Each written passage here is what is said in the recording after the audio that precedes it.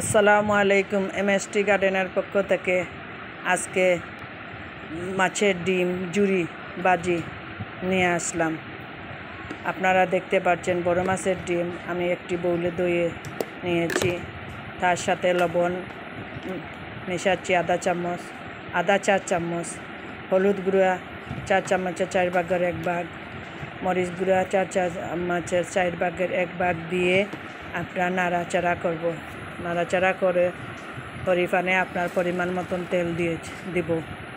পরিমাণটা গরম হওয়ার জন্য দিয়েছি, দিয়ে পরিমাণ মতন তেল দেব। মাছের ডিমে কিন্তু একটু তেল পরিমাণটা বেশি লাগে। তেল দিয়ে এখন গরম হওয়ার জন্য অপেক্ষা করছি। গরম হওয়ার পরে আপনার ডিমগুলো এইভাবে দিয়েছি, বাদে আমি টুকরো টুকরো করব।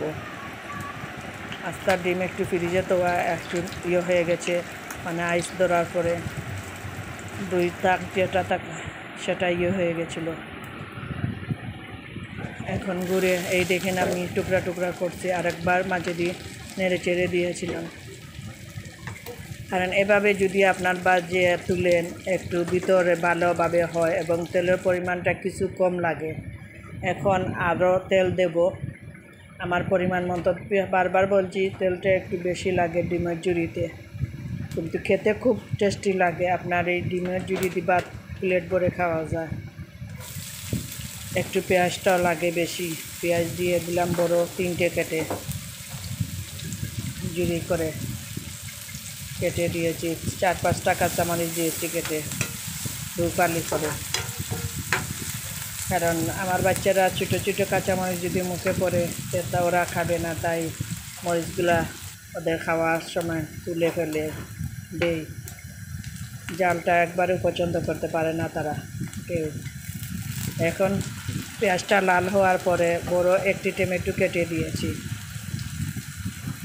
একটু আমি আরও কয়েকটি ভিডিওতেও বলেছি।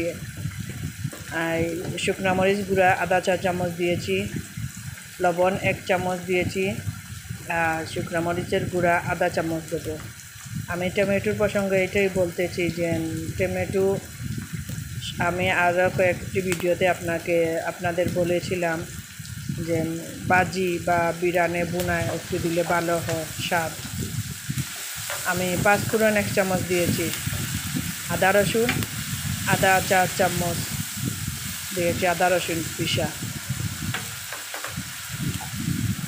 দিয়ে বাগারটা ভালো করে নেড়ে চেড়ে হলুদ মরিচের গন্ধটা আপনার সারাবো।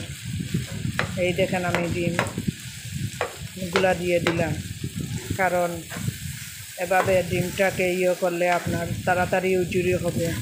তাই মশলাটা কিন্তু ভালোভাবে আপনারা কষাবেন আগে। যত সময় গন্ধ না আগে, যে টমেটো না যত সময় গলে, তত সময় পর্যন্ত। বা যদি আমি একবার নেড়ে চেড়ে ইয়ে করে দিই দেখেন আমার ডিমগুলো কীভাবে জুড়ি হয়েছে। আর তেলের পরিমাণটা একটু লাগে বেশি। আমি এইভাবে চামচ দিয়ে সবগুলা ডিম ভেঙে ভেঙে দিয়েছি। আপনারা ওইভাবে চেষ্টা করলে পারবেন, একবারে সহজভাবে। আমার পরিমাণ মতো আমি ধনে পাতা দিয়েছি, এক টেবিল চামচ মতন। আপনারা এইভাবে নেড়ে চেড়ে দিয়ে ধনে পাতা দিয়ে নামাবেন আমার ভিডিওটি পছন্দ হলে আপনারা লাইক কমেন্টস শেয়ার করবেন।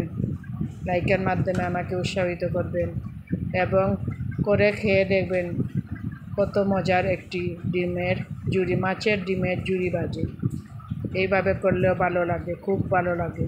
পেট ভরে ভাত খাওয়া যায় বা আপনার রুটির সাথেও খেতে পারবেন। অতিথি আসলে এইভাবে বিরান করে দিলে ডেকোরেট করে, খুব ভালো লাগবে দেখতে দেখতে।